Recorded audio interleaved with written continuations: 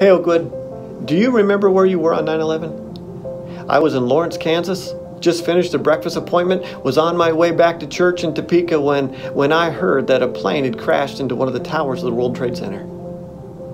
I remember what took place that day. Well, we have a whole generation of young people who weren't even alive then. And it makes you wonder will they remember? Our world has been filled with tragedy and terror, evil, ever since man chose to sin. And it continues to this day. And as you remember the day of tragedy in 9 11, I want you to remember, I want me to remember, that 2,000 years ago on a hill far away, sin was paid for. And that same weekend, when a stone was rolled away, death was defeated. So, as we do our remembering this weekend, let's make sure we remember what Jesus Christ has done for us, the victory that He has achieved for us. Thank you.